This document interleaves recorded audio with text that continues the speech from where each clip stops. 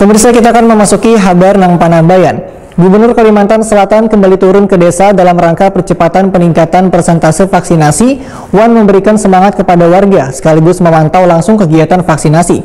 Kegiatan vaksinasi bergerak jilid dua kali ini akan menyasar sejumlah lokasi vaksinasi massal di 13 kabupaten Wan Kota, Kalimantan Selatan. Berikut untuk kabar Nang selengkapnya.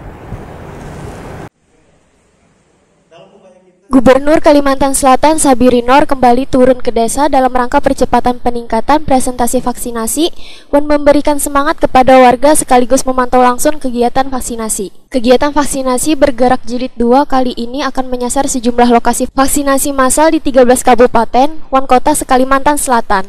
Rombongan monitoring vaksinasi bergerak yang berlangsung mulai 3 hingga 6 November 2021 berangkat dari Mahligai Pancasila Banjarmasin Baisukan Rabu 3 November 2021. Gubernur Kalimantan Selatan Sabirinor Wayah Ditakuni Prima TV memadahkan vaksinasi bergerak merupakan usaha atau ikhtiar bersama untuk mewujudkan kekebalan rakyat Banua dari COVID-19.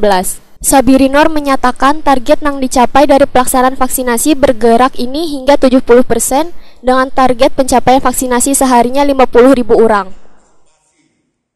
Bergerak kedua yang kita luncurkan dalam rangka kita melakukan percepatan vaksinasi dan kita mendorong masyarakat kita, semua kita, termasuk Bupati Wali Kota, terima kasih juga sudah melaksanakan vaksinasinya.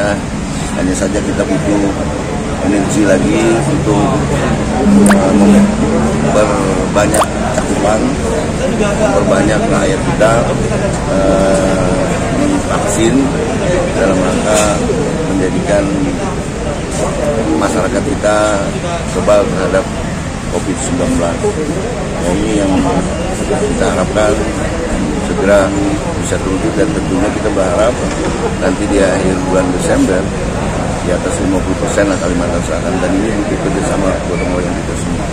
Ada target ya Pak Man untuk ya pelaksanaan diharapkan 50 persen itu ya dalam 70 Desember nanti target kita sudah uh, divaksin makanya kita bergerak di sini. Adapun rute perjalanan rombongan dari Banjarmasin menuju Kabupaten Barito Kuala berlanjut ke Tapin, Hulu Sungai Selatan, Hulu Sungai Utara, Tabalong, Balangan, Hulu Sungai Tengah, Tanah Bumbu, Kota Baru, Tanah Laut, Banjarbaru dan berakhir di Kabupaten Banjar.